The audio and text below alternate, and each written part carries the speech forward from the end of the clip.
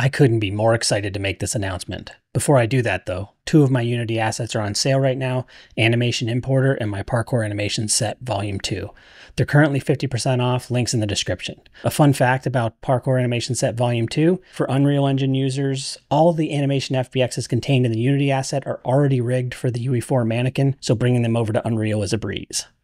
Okay, on to the real reason for this video. As current users of my motion matching locomotion controller Unity plugins know, the last eight months have been pretty silent on the update front.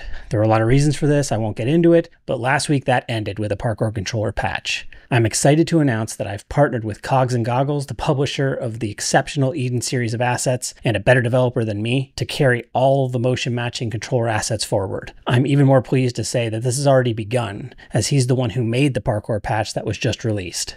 This will continue with the promised next updates of MMLC and the Game Creator plugin, but we'll also move into feature and animation set edition for MMC Parkour and MMLC. It's an exciting time for these assets as Massimiliano brings a high level of design knowledge and impressive programming prowess that will level things up moving forward while allowing me more time to focus on configuring new animation sets and some other elements that I just haven't had time for to date. More to follow on all this soon. Thanks for listening and see you next time.